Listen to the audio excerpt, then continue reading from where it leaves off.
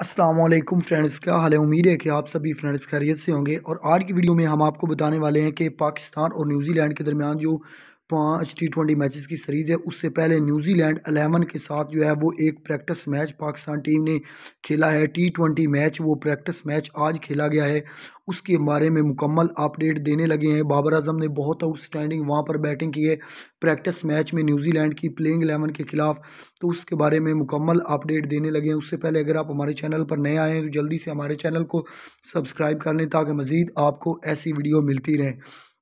तो चलते हैं वीडियो स्टार्ट करते हैं और हम आपको बता दें कि पाकिस्तान और न्यूजीलैंड के दरमियान जो पाँच टी ट्वेंटी मैचेस की सीरीज़ है, उससे पहले पाकिस्तान टीम को एक T twenty match practice match खेलने का मौका मिला है और आज वो प्रैक्टिस मैच खेला गया है। तो पाकिस्तान के सबक कप्तान बाबर अजम ने शानदार उसमें 102 रन की इनिंग खेली है और फ़खर जमान ने भी पैंतालीस रन की इनिंग खेली है। पाकिस्तान टीम ने पहले बैटिंग करते हुए 205 रन बनाए थे, जिसमें बाबर अजम के 102 फ़खर जमान के पैंतालीस और इसके बाद अगर हम बात करें तो मोहम्मद रिजवान 25 रन बनाकर आउट हुए।